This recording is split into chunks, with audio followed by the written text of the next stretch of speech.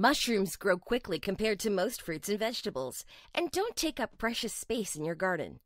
Most hobbyists start out with oyster mushrooms because they are the easiest to grow. Mushrooms are a healthy addition to any diet as they are low in calories and fat, high in fiber, and contain high amounts of potassium and selenium.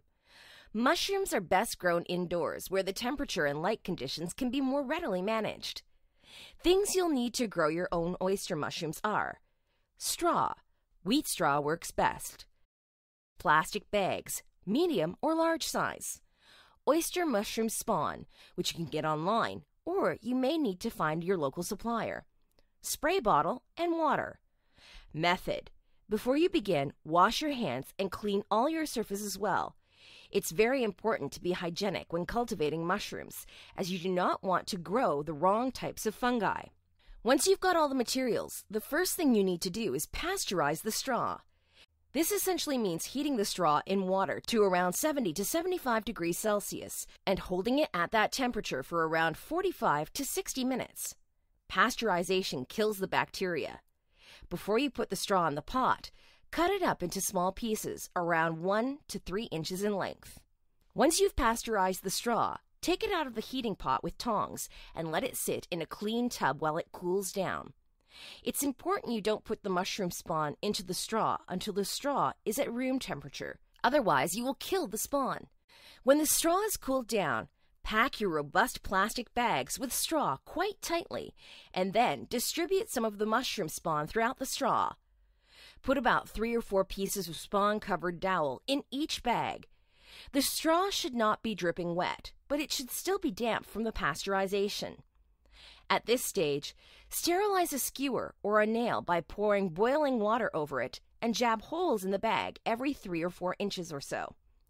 This lets some air in, but not too much. The mouth of the bag should be closed with a rubber band or thread. You now have to find a home for your mushrooms. Keep them out of direct sunlight.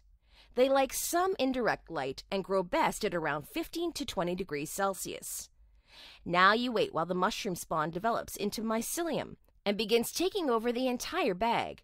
Mycelium looks a bit like white furry cobwebs, and you should start seeing it develop in the first couple of weeks. It's very important that your bags of straw stay moist but not dripping wet. Spray some water if required. About four weeks later, the mycelium should have spread across the entire bag of straw, and your mushroom should start forming. Cut some slightly larger holes in the bag if necessary.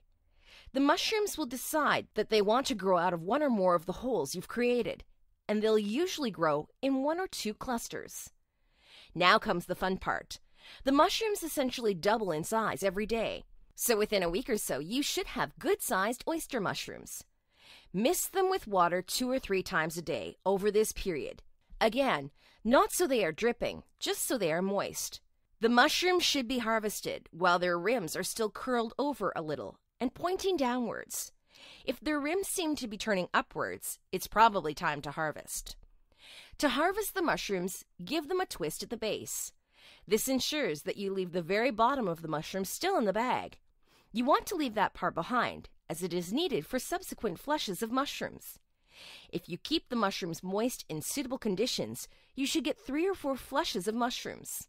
When your bags stop producing, the straw can be used as mulch for the garden. Alternatively, you can distribute some of your straw into new bags of fresh straw and the growing process begins again. If there are any mushroom experts out there, be sure to share your advice in the comments below.